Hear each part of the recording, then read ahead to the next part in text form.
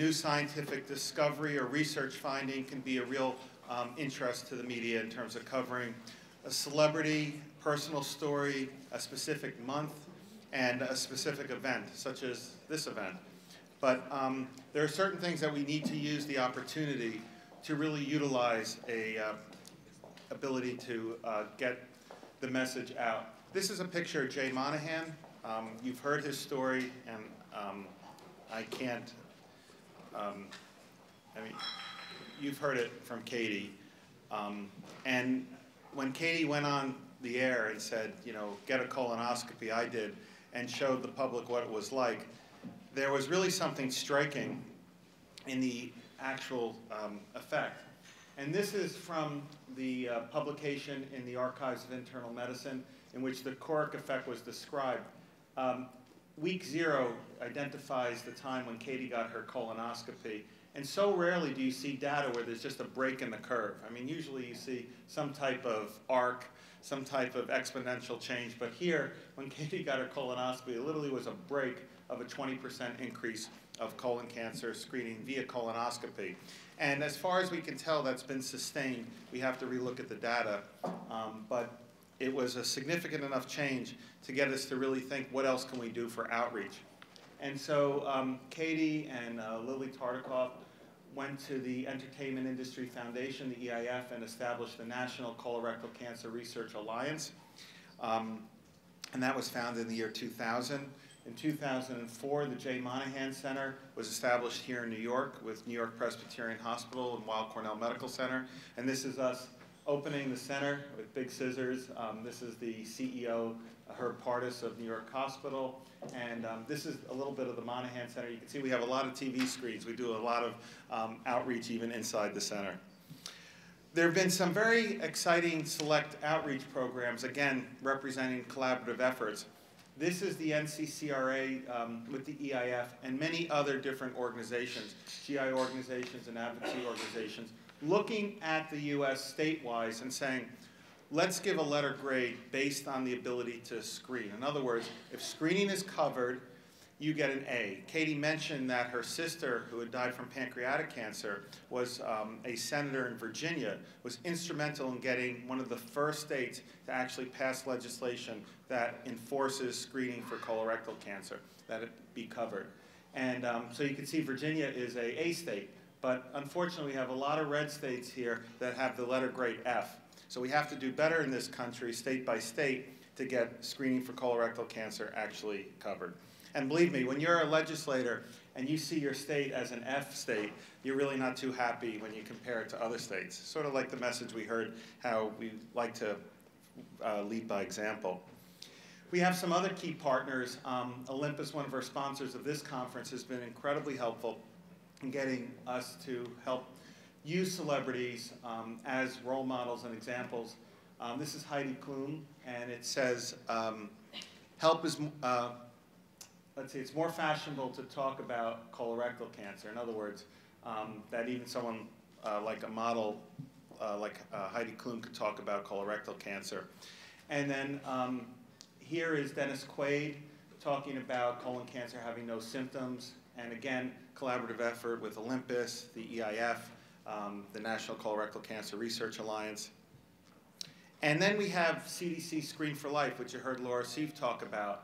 Um, this has really been a fantastic campaign that's been going for um, about 10 years now and it really is trying to focus on getting people screened through using this type of outreach. And it's not just print, it could be print and media. And in 2004, they partnered with Katie and the NCCRA to try and work on some of these um, media campaigns, both in print and broadcast PSAs. This is one of them, Are You the Picture Health? This is the one you might see in a lot of airports. Um, and uh, that, I think this was what Katie was talking about that sometimes frightens her when she sees it. This is um, data from 2007, and actually uh, Laura Seeff is part of this, where they really looked at what is the effect of using celebrity endorsements to expand the reach of these campaigns. And what they found as of June 2007, I guess Laura, you can give us the most recent data if you have it, but I mean, it's staggering numbers. 4.5 billion audience impressions. That means anytime someone has either heard or seen this, that's counted as an audience impression and more than 70 million donated in space that is given to them for free, which otherwise would have cost $70 million to utilize. So they're able to go to certain outlets and ask for space to be utilized for um, outreach. Here's one uh, of Terrence Howard that's just most recent, um, talking about his motherhood, colorectal cancer. Again, um, working towards different demographics and role models. Um, we've worked with um, the uh, CDC and many other organizations like the Department of Health and um, Taxi and Limo Commission, the EIF, the NCCRA, and the Jay Monahan Center to get some of these PSAs, which were already um, uh, produced, into taxi cabs. So again, this concept of using something that the CDC's been doing and bringing it in with other organizations for, in a cooperative effort, now to put it in taxi cabs. Someone gets in a cab, there's a little TV screen, they might see one of these PSAs that they otherwise may not have seen. We, um, when I say we, now we're talking about the Jay Monahan Center, launched a ad campaign on top of New York City taxis with um, taxi and um, uh, Department of Health, the Taxi Cab Board of Trade, uh, Clear Channel, and Warner Brothers. Warner Brothers is the people who make Bugs Bunny and all the rest, and this is the character that we have, which um, most Americans recognize this character. He's a chicken named Foghorn Leghorn, and he speaks with a southern accent. And he says, I say, I say, don't be a chicken. Talk to your doctor about cancer screening. What's great about this campaign is not only is it that it's on a taxi, but it uses the city number 311. This is the same number you would use if you saw a pothole that you had to report. So the same number that you call the city about a pothole, you can get information on colorectal cancer screening. And I think that just shows the magnitude of what we've been able to accomplish in New York City by working together so closely with the Department of Health. It was really a fun, this is a fun campaign. We had the actual Foghorn Leghorn come to our courtyard at the Monahan Center with Katie Couric. Um, this you may recognize as the super colon. Um, this is uh, Bo's group that created that, and we actually crawled through the super colon, even scoped the super colon. We're reaching out to women. The ACOG is American College of GYN, and again, collaborative effort. GI professional organizations, um, the CDC, ACOG, and um, patient advocacy groups.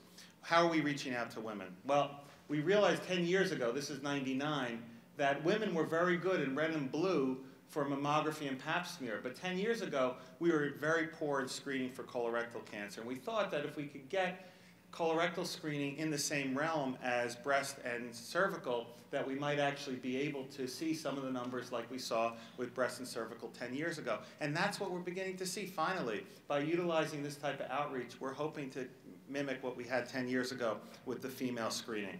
Um, are you the picture health? This went to gynecologists so they could put in their office. So women come in their office for one thing. It says, so get your, get your mammography, get your pap test, and if you're 50 or older, get screened for colorectal cancer. Again, reaching out specifically to women. This is an information bulletin that went to the gynecologist.